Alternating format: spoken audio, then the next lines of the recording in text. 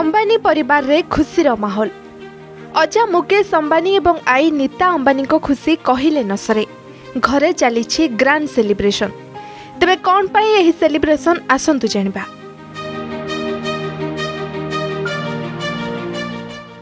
ଘରକୁ ନାତି ନାତୁଣୀ ଆସିଛନ୍ତି। ଜନ୍ମ ହେବା ପରେ ପ୍ରଥମ ଥର। ଏଥିପାଇଁ ରାଜକୀୟ ଢଙ୍ଗରେ ତାଙ୍କୁ ସ୍ୱାଗତ କରାଯାଇଛି।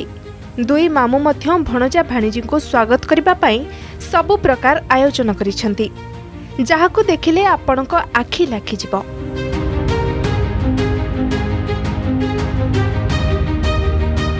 ପ୍ରସିଦ୍ଧ ବିଜନେସମ୍ୟାନ୍ ତଥା ବ୍ୟବସାୟୀ ମୁକେଶଙ୍କ ଝିଅ ଇଶା ଅମ୍ବାନୀ ତାଙ୍କ ଜାଆଁଳା ସନ୍ତାନ ସହ ଭାରତ ଫେରିଛନ୍ତି।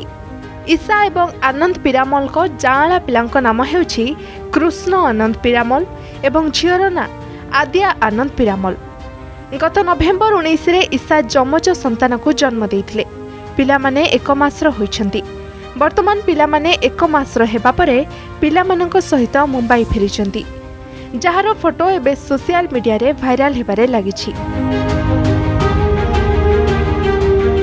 ଏହା ଅମ୍ବାନୀଙ୍କ ଏକ ପିରାମଲ ପରିବାର ପକ୍ଷରୁ ସୂଚନା ଦିଆଯାଇଛି।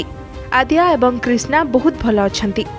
ଏହି ଭାଇରାଲ ଭିଡିଓରେ ଘରଗୁଡ଼ିକ ବହୁତ ଭଲ ଭାବରେ ସଜା ହୋଇଛି। ନାତି ନାତୁଣୀଙ୍କୁ ଗ୍ରାଣ୍ଡ ୱେଲକମ୍ ପାଇଁ ସବୁ ବ୍ୟବସ୍ଥା କରାଯାଇଛି। ସମସ୍ତଙ୍କୁ ସମ୍ପୂର୍ଣ୍ଣ ସୁରକ୍ଷା ସହିତ ବିମାନ ବନ୍ଦରରୁ ଘରକୁ ଅଣାଯାଇଥିଲା। କୁହାଯାଉଛି ଯେ ଏହି ବିଶେଷ ଉତ୍ସବରେ ଆଶୀର୍ବାଦ ପାଇଁ ଅନେକ ବ୍ରାହ୍ମଣ ଉପସ୍ଥିତ ଥିଲେ।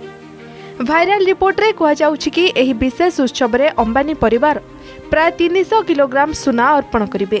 କେବଳ ଏତିକି ନୁହେଁ ଇଶାଙ୍କ ପାଇଁ ଦେଶର ପ୍ରସିଦ୍ଧ ମନ୍ଦିରରୁ ପିଲାମାନଙ୍କ ପାଇଁ ପ୍ରସାଦ ମଧ୍ୟ ଅଣାଯାଇଛି। ଯେଉଁଥିରେ ତିରୁପତି ବାଲାଜୀଙ୍କୁ ଶ୍ରୀ ଦ୍ୱାରକାଧୀଶ ମନ୍ଦିର ପର୍ଯ୍ୟନ୍ତ ସାମିଲ କରାଯାଇଛି। Bureau report Argus news. Odisha ସାହିତ୍ୟର ମାଟି ଓଡ଼ିଆଙ୍କ ରକ୍ତରେ ସାହିତ୍ୟ। ସାହିତ୍ୟ ହିଁ ସମାଜର ପ୍ରତିବିମ୍ବ।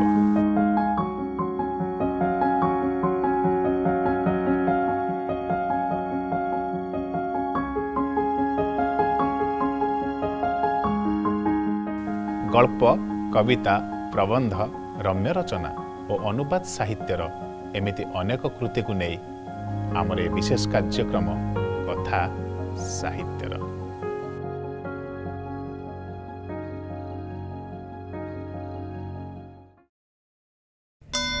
ସମୟ ସ୍ରୋତରେ ଭାସି ଚାଲିଯିବ କେତେବେଳେ ସୁଖ ସମ୍ପଦ ତ କେତେବେଳେ ଦୁଃଖ ଜୀବନର ଗତିପଥକୁ ଜାଣିବା ପାଇଁ ମୋ ସହିତ ଦେଖନ୍ତୁ ଆମର ଲାଇଭ୍ ପ୍ରୋଗ୍ରାମ।